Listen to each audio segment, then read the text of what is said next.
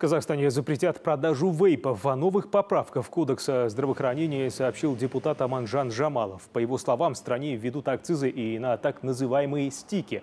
Они будут облагаться таким же налогом, что и сигареты.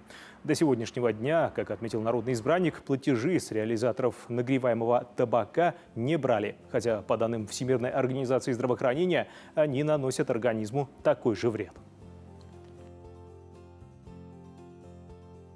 Принято решение в соответствующем законе, о здраво... в Кодексе о здравоохранении мы внесем поправки, запрещающие э, Казахстане, Казахстане продажу и употребление вейпов, так называемых электронных, э, электронных устройств, которых курительной смесью является жидкость, газы и так далее. Это всякие ароматизаторы, вейпы, они будут полностью запрещены э, для э, реализации и употребления в Казахстане.